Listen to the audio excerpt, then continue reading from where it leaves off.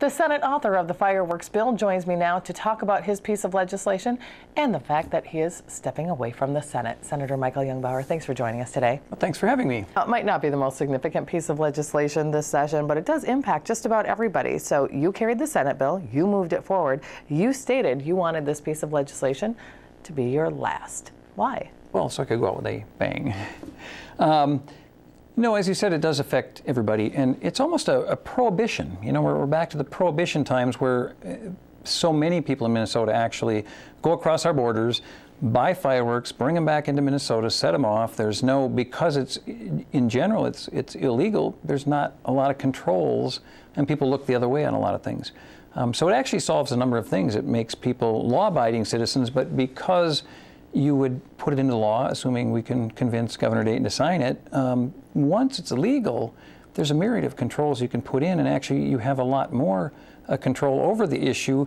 Um, for example, you can uh, set hours that you can put them off. You could set times where the fire marshals can say, okay, it's a high fire period, you can't set off fireworks.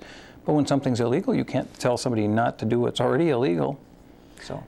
So what do you think Minnesotans need to know about this new fireworks legislation? Um, the key is we have some of the, the lesser fireworks, um, the non-aerial fireworks, meaning uh, now we would be allowing bottle rockets and things to actually go up into the air. Uh, we call them aerial and audible devices. So they make a big boom up in the air. Um, but I think people need to know you need to be a little safer, although ostensibly we've been firing them off to begin with.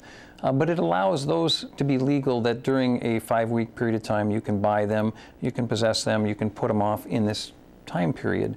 Um, but because we're opening the doors and we're limiting it to that five week period of time, I want Minnesotans to know we need to show the governor uh, that we are responsible and that anything that happens with fireworks once they're legal, that the injuries and the fires would actually go down. Let's see that downward trend. Let's see responsible use.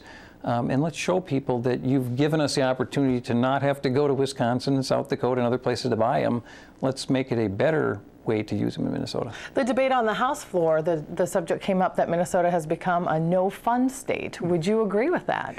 I, do you think this makes it a bit more fun? I think it, it's in some cases a no fun state. And, and I think people love to celebrate their freedoms, the 4th of July we should encourage that. Now, a lot of other cultures actually use fireworks other times of the year, and this wouldn't include those kind of things.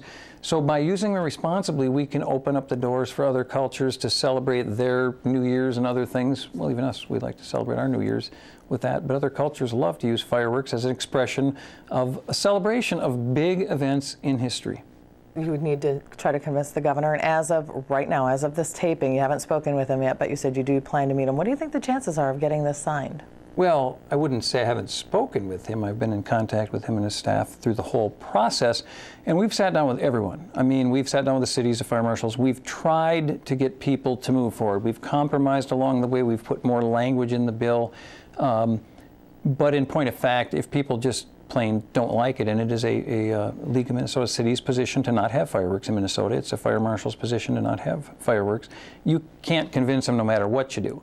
So we have worked very diligently to try to, to uh, squelch some of the fears and bring it as close to a neutral position as possible, but we, we can't um, do that. So we're really hoping that the governor looks at it. Um, some outside um, analysis now have said just by having this five week period of sales, that's $6 million in the Minnesota state tax coffers. So that's significant as well. Not the reason to do the bill per se, but why give it to Wisconsin? Why give it to South Dakota? Okay, Senator, let's talk a little bit about your career in the Minnesota Senate. 10 years.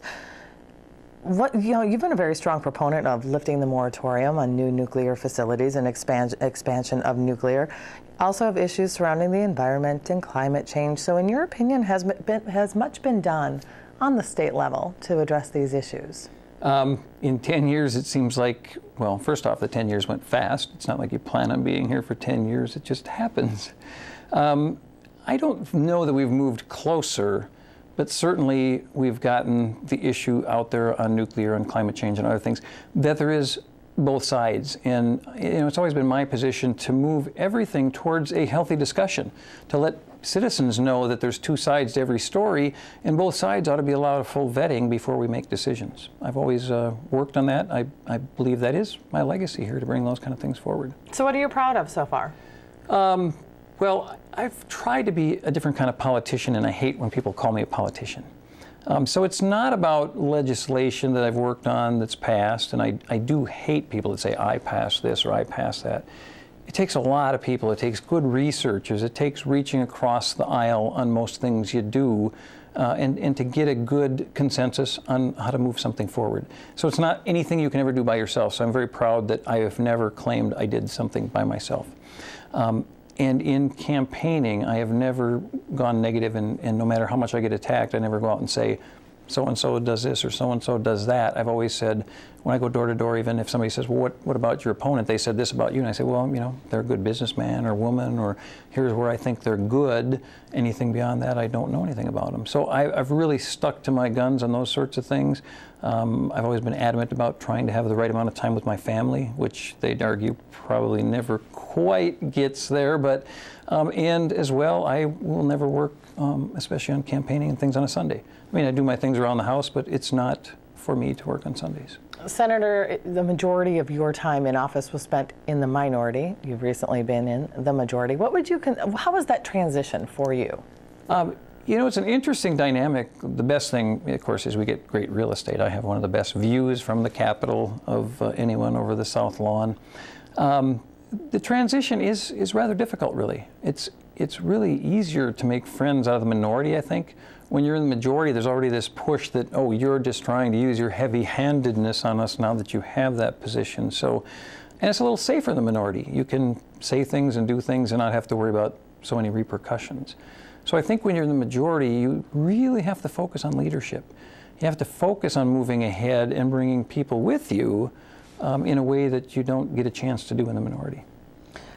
Senator, I'd like to give you a chance to say something to your constituents as you leave office. Here's that opportunity. Um, I'd like to say thank you. It has been such a blessing, and um, I'm kind of an emotional guy. I mean, really, um, it, it has been a blessing. I feel blessed to be here, that people trusted me, and I truly believe I've uh, fulfilled that trust. I don't vote for things because it's my deal, because it's a um, you know, some other group has, has had that as their issue. I sit down and I go back to my BPOUs. I, I, sit in people's garages and have coffee or a Coke with them. We sit and we talk about the issues and I vote for them. I have this moral and ethical line. I've always said, I won't cross that. But beyond that, I am your representative. I'm here to vote for what you want. And I thank them for the trust they put in me, and I don't think I've ever betrayed their trust. Senator Michael Jungbauer, thank you for your time today. We appreciate it. Thank you so much.